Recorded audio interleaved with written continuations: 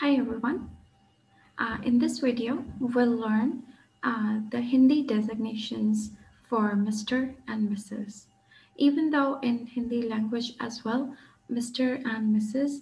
is quite routinely used. However, uh, in Indian designations or Hindi designations, Mr. is called Shriman, Shriman, and Mrs.